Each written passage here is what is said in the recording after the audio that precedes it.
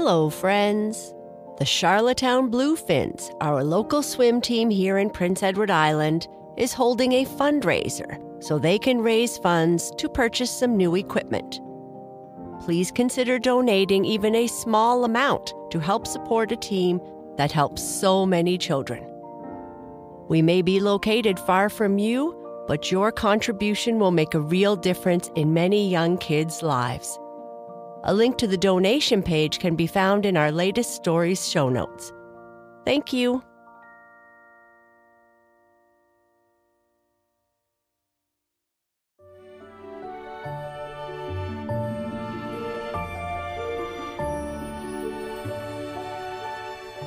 Hello, friends, and welcome to Sleep Tight Stories. Bernice has a doctor's appointment today, and she is feeling a bit nervous about it. Bobby has told her some things that the doctor is going to do, and so she is hiding under her blankets, hoping Papa Bear won't be able to find her. Papa Bear tells her that Bobby sometimes likes to exaggerate and that everything will be fine at her appointment. Let's see how Bernice does at her doctor's appointment. Bernice visits the doctor. Good morning, little bear. Are you awake yet? Papa Bear said as he gently pushed Bernice's shoulders. No, Papa, I'm sleeping in today until noon, Bernice said from under the blankets. Sleeping until noon? That's not like you, little bear. You are usually up early. But on those days, I have school, or it's a day when we have other fun things to do. Today is not fun at all. It's a scary day. A scary day? Why is today a scary day, little bear? It's sunny outside, and it's warm and I have something special made for breakfast. I think it just might be a perfect day, Papa Bear said. It's not a perfect day at all when you have to go to the doctor, Papa. It's super scary. Bobby said the last time he went to a doctor, the doctor hit his knee with a great big hammer, stuck a great big needle in his arm, and didn't even give him a lollipop when he left. I like my knees, Papa. I don't want a doctor to hurt them, Bernice said as she kept cuddling with Twigga under the blanket. That Bobby always likes to tell silly stories. I think Bobby has an overactive imagination and a tendency to exaggerate. You know that he likes to scare you a little bit. I promise that going to see the doctor this morning will not be like that at all. It might even be fun.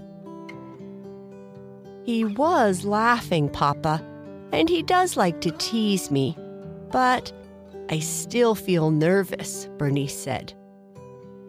Why don't you get ready and come downstairs to have breakfast? I will tell you what we will do today and what the visit to the doctor might be like. Is that honey cakes I smell, Papa? Bernice asked as she started to get out of bed. It sure is, but you better hurry. They are so tasty, I might eat them all up, Papa Bear said with a laugh. Don't do that, Papa. I'll be ready super fast, Bernice said as she rushed to get dressed. Bernice put on all her lucky clothes and raced downstairs for breakfast. I'm wearing my giraffe shirt, giraffe socks, and my pants with giraffes on them this morning, Papa, she said. You look just like Twigga, Papa Bear replied. After taking three great big bites of her breakfast, Bernice said, These honey cakes are super yummy, Papa, and my hot milk is super great too. I made this special for you, little bear. Even Mama Bear didn't have honey cakes this morning. Thank you, Papa. So, what time are we going to the doctor today? Your appointment is at 10 a.m., so you won't be going to school this morning. But if we finish quickly, you can go after lunch. Bernice frowned. I hope my teachers don't miss me too much, Papa. I wouldn't want them to be sad. You can bring them some cookies tomorrow to cheer them up, Papa Bear said. After finishing a huge drink of milk, Bernice wiped the milk stash off her lip and asked, Are you sure the doctor won't stick big needles in my arms, Papa? I am sure. It's like the last time you went to see the doctor. But that was like a hundred years ago, Papa. I can't remember what happened. Mm, I do remember getting candy and a sticker, though. I think I saved the candy in my bedroom drawer. After setting a reminder on his phone to check for moldy candy in Bernice's room, Papa Bear said, Today is a checkup, just like the last time, and much of your time will be spent with the friendly nurses at the office. First, they will take some measurements like your height, weight, blood pressure, and temperature. I've gotten super tall this year, Papa. Soon I will be taller than you, Bernice said excitedly. You have. After we visit with the nurse, the doctor will look at your ears, eyes, nose, throat, heart, lungs, belly, and skin and test your reflexes. Testing your reflexes is one of the funny parts because the doctor will use a tiny rubber hammer to tap your knee. Every time the doctor does it to me, it makes me laugh, Papa Bear said. No needles, Papa? You have had all your vaccinations, little bear, and I don't think you even noticed the last time the nurse gave you one. I remember, Bernice said. I was looking at all the different colored lollipops, and then the nurse said it was all over. So this visit won't be so bad, right, Papa? It will be fun, little bear. And afterwards, we can have a special lunch together before you return to school. Can we have ice cream like we did after going to the dentist? Sure thing, little bear. We haven't had an ice cream treat in a long time. Papa? Yes, little bear. Can Twigga come too? I think he might want to see the doctor. Twigga can come too. Maybe the doctor will check him first.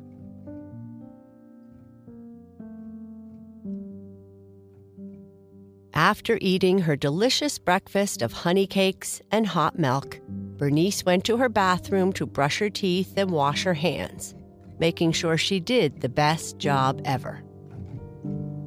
After she finished washing up, Bernice got her favorite lucky boots on, which she wore not only when it was raining, but when she needed a little extra courage. Put on her jacket and got in the back seat of Papa Bear's car for the drive to the doctor's office. When they arrived at the doctor's office, Bernice said to Papa, I'm still a little nervous. Remember when we went to the dentist and you were nervous then? Yes, Papa. It was kind of fun, wasn't it? Bernice nodded her head. Don't worry, little bear. I would never take you somewhere that would scare you or hurt you. The doctor is our friend, and it's her job to make sure we are healthy. So let's be brave, take a great big breath, and go inside to visit the doctor.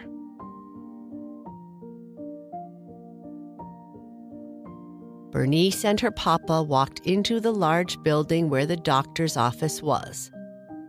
Bernice felt kind of nervous, but she took a big breath, held Papa Bear's hand, and walked with him through the front door of the doctor's office that was at the back of the first floor of the building.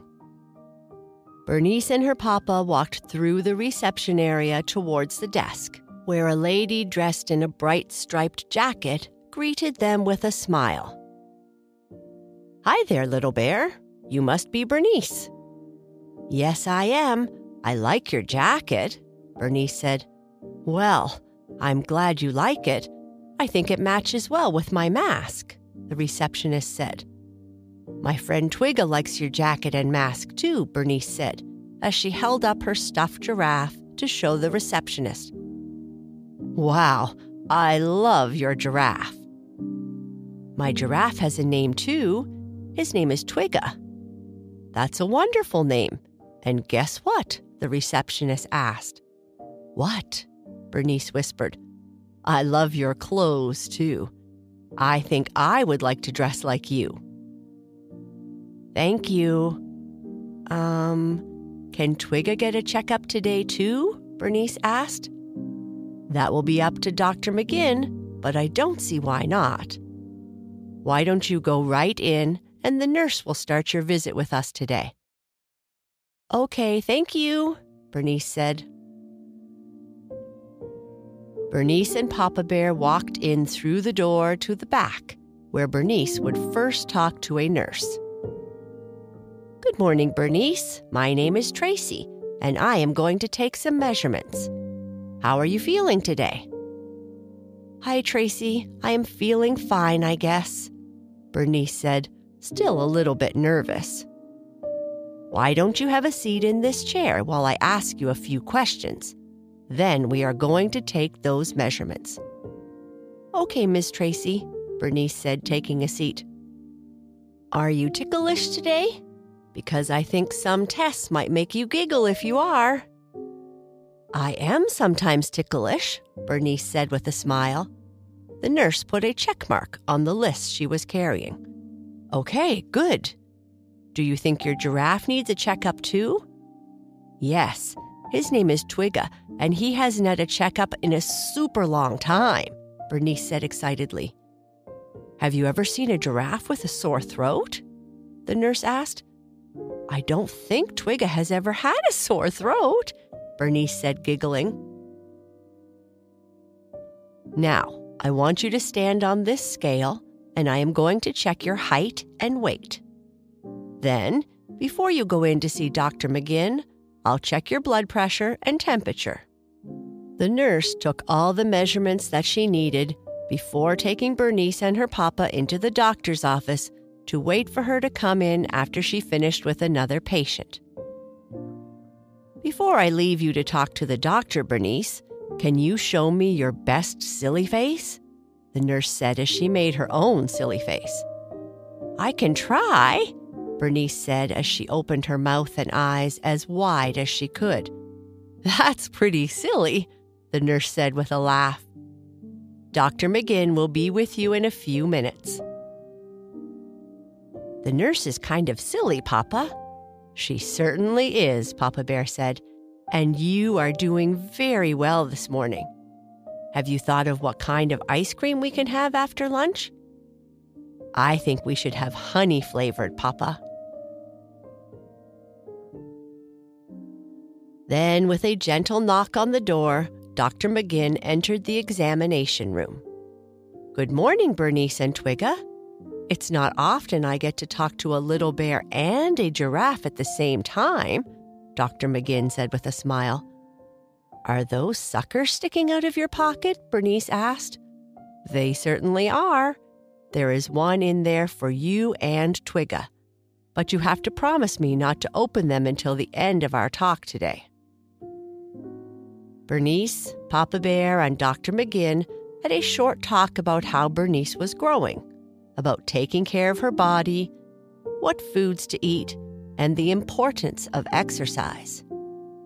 Then the doctor took out a strange looking tool to look inside Bernice's eyes, ears, nose, and throat.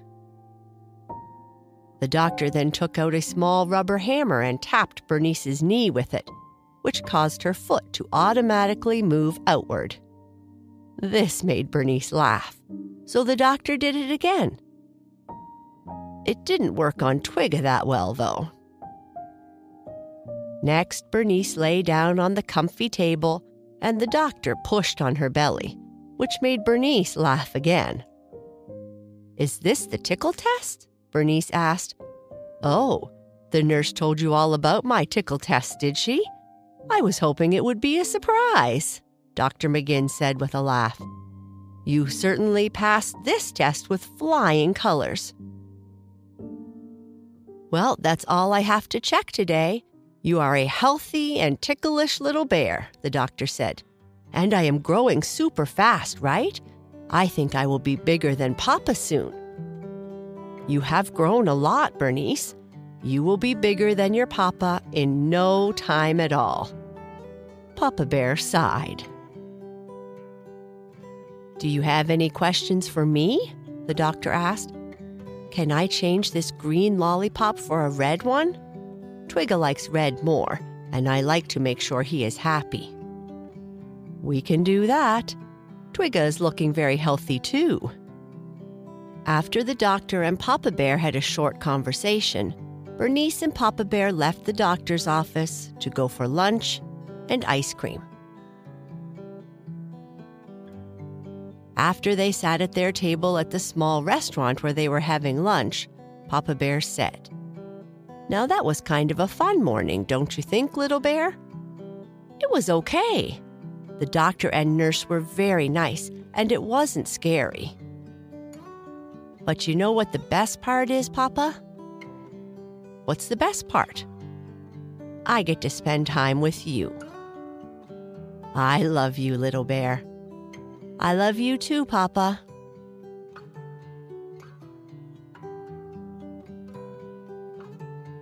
And that's the end of our story. Good night. Sleep tight.